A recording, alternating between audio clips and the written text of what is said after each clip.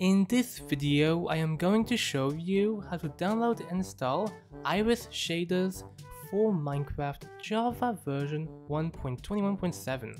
So, let's get started.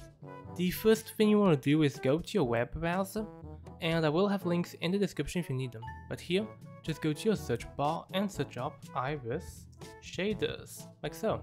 Now enter and here you'll find Iris Shaders.dev and Iris Shaders. Click on Iris Shaders. Now, here you'll find a blue download now button, click on it, and this will bring you to download Universal Jar. Click on this button. And now you have irisinstaller.jar. So if you can't run the Iris installer or it is asking you to open with another app, what you want to do is get yourself something that can run .jar files, aka Java for Windows. So what this is, it is simply a program that you can get by going to a new tab and going to a search bar. I will have this website in the description if you need it as well.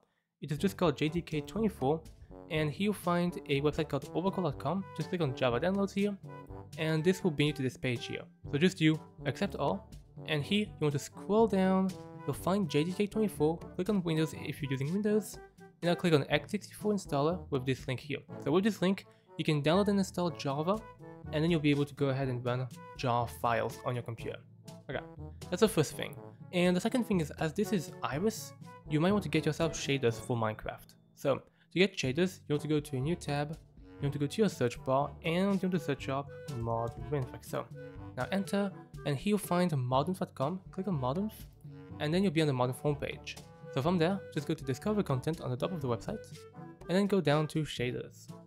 Now, you'll have a bunch of shaders that you can choose from. So that is all the shaders you can get. There's quite a few pages of these. So for example, if we want to get ourselves a classic like BSL, you can just click on the name and this will bring you to this page Excel. So from there, you can go to versions and here for most shaders, you just want to get the latest file. The version doesn't need to match, it can be close, but it doesn't need to match. You just want to get the latest file they have and just click the green download button. And basically, once you click this button here, it will basically download it like so, and now we're gonna have our shader and Iris installer and uh, Java for Windows if you need to run the installer.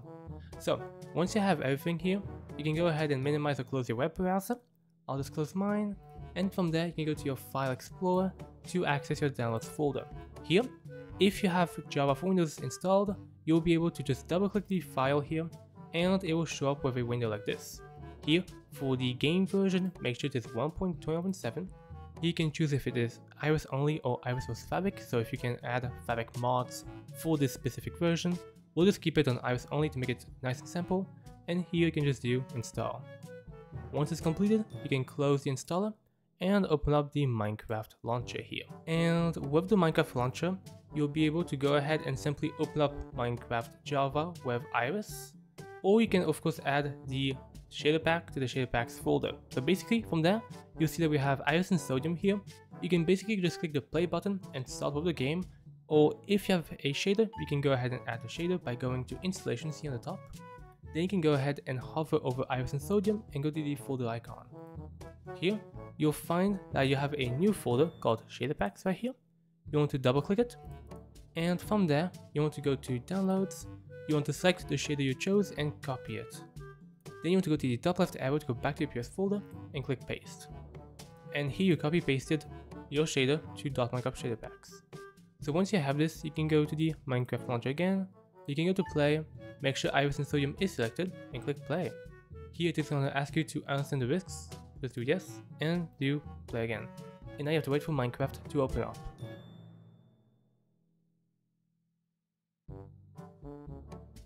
Okay, so once you have Minecraft here, you want to go to a single player world, a server or a realm. I'll just go to a single player world here.